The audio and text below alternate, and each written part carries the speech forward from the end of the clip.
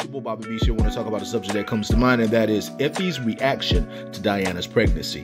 When it comes down to it, Effie is not going to like Diana's pregnancy because basically how she's going to look at is that if Tariq is the father, which she knows Tariq and Diana have hooked up, especially when Tariq was angry with her, then that would create a situation for Effie. Effie has shown that she really does love Tariq, and despite all the stuff that she is doing, she loves him. She wants to be with him. So basically, when it comes down to it, if she find out Diana is pregnant, it's going to get crazy. And I've seen some fans say that they believe that Diana is going to die, that she will not have the baby. Now, I'm not going to say that, nah, I don't believe that. I'm going to say, yo, I, am not going to sit here and play around. I think y'all might be right. And I'm going to tell you why I think y'all might be right, because I feel the same way, because I was thinking about Effie's reaction. The reason why I'm talking about this is because Effie is obsessed with Tariq.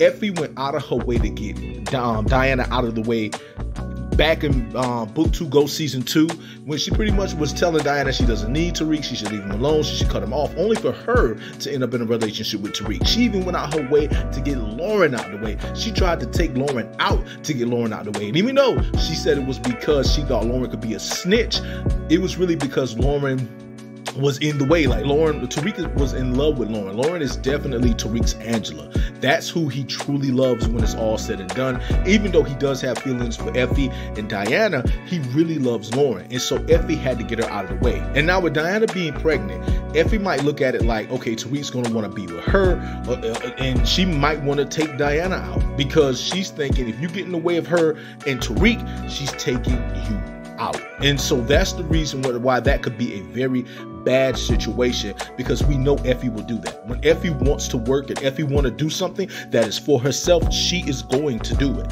And she doesn't care what happens. She doesn't care what come out of it. She'll lie about it and everything, but she will do anything to keep Tariq for herself. And right now, even though she's with Cane, trust me, she wants to get back with Tariq. I was even surprised at the fact that um, in the new clip that came out, when Tariq was talking to Brady, he said Effie gave him some information, which Brady responded, so we're fucking with Effie now? So I'm like, you know what I'm saying? So basically, when it comes down to it, Tariq obviously still has a connection for Effie. He loves her and he has a mutual respect for her. But at the end of the day, when it comes down to it, he still doesn't trust her. So Effie um, is, like I said, this could be very bad for Diana because it might end up being Effie taking Diana out to get Diana out of the way.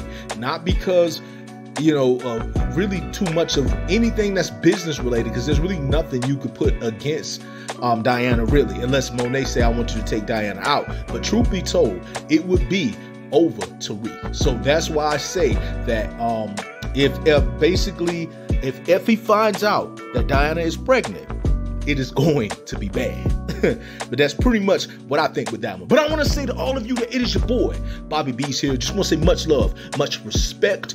Hold it down. And, oh.